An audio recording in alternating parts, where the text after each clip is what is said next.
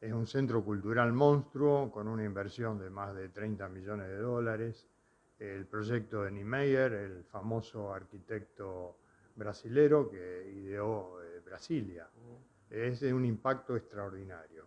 Estamos ya en toda la parte, la fase de estudios de eh, corrimiento de la gente y los, eh, las viviendas que no se corren eh, van a ser absolutamente mejoradas con una estructura, una infraestructura realmente importante. ¿Un proyecto de plazo hay estimado más o menos para que se concrete, intendente? Y tendríamos que empezar a trabajar el año que viene en eso. Estamos en un estudio, porque realmente la obra es tan importante que tenemos equipos trabajando aquí en Buenos Aires, eh, con gente que nos está asistiendo de Nación. Eh, bueno, esperemos este, que se acelere todo lo posible. No es fácil con el proceso inflacionario que estamos este, viviendo, eh, manejarse en, una obra de esa magnitud. No es fácil manejar una casa con el proceso inflacionario, que esperemos que se vaya atemperando. Y después este, toda nuestra región eh, va a sufrir tremendamente desde el punto de vista económico por la sequía. Eh, hay mucha gente que no lo nota eso porque no está en la actividad agropecuaria pero va a ser durísimo, ¿eh? durísimo la disminución de ingreso que va a tener el país y especialmente nuestra región. Y eso desde el punto de vista económico, el municipio lo va anticipando, intendente, digo porque usted tiene una administración este, muy ordenada, este, muchísimo dinero que tiene que eh, recaudarse para pagar solamente sueldos en el municipio.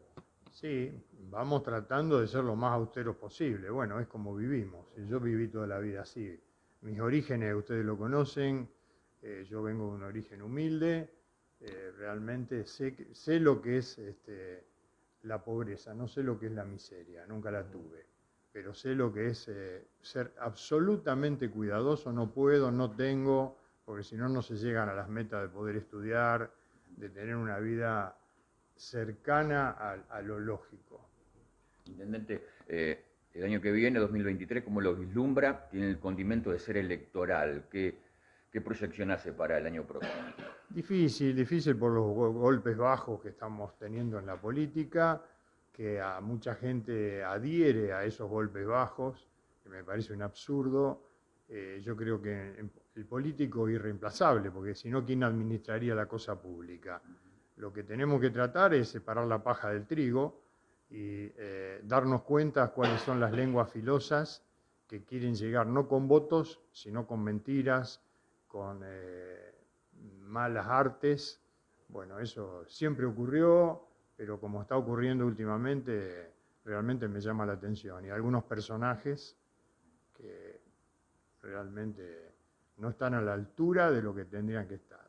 Usted cuando habla de, de la campaña sucia, también podemos poner esto la quema de contenedores, digo, lo que está ocurriendo en las calles? Sí, sí, hay un ataque de gente pagada, gente pagada que viene a destruir eh, mobiliario urbano. Los, han metido presos, pero al otro día los largan. Eh, así que tiene un condimento especial el 2023. Va a ser duro porque hay gente que quiere... Está bien, la relación política siempre el que está arriba no quiere bajar y el que está abajo quiere subir, eh, para simplificarlo. Claro pero la metodología son los votos y la voluntad de la gente. Después la gente se acierta o no acierta, bueno, eh, todos estamos en ese paquete, pero realmente eh, hay personajes eh, que ustedes son testigos de eso, no los quiero involucrar, pero saben, se han opuesto a obras muy importantes para la ciudad y la calidad de vida de nuestra gente, solamente con, para obtener resultado político se me viene a la cabeza Banco Nación, ¿no? que hubo una oposición también furibunda y hoy por hoy la obra está avanzada.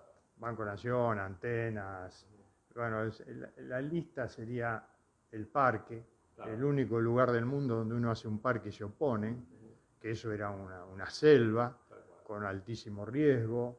Bueno, realmente, bueno, espero que el vecino este, realmente eh, se ubique en la situación en que vivimos, ¿no? porque después protestamos de los políticos, pero los políticos se eligen a través de la comunidad y no vienen de la luna, el político eh, viene de un muestreo de lo que es la sociedad, por eso tenemos que tratar de elegir bien.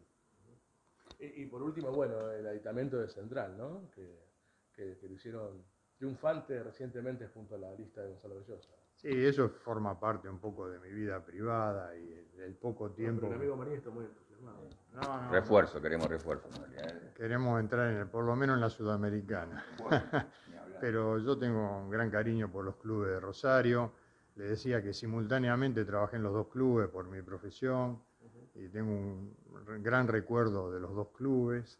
Y bueno, estoy tratando de ayudar eh, y lo que queremos, eh, Central, en el caso Central, está muy representado en la ciudad por el predio que tiene, que es una maravilla, y es donde se producen jugadores, como News lo produce en Bellavista. Eh, bueno, realmente yo lo que quiero es que vivamos bien en nuestra querida ciudad.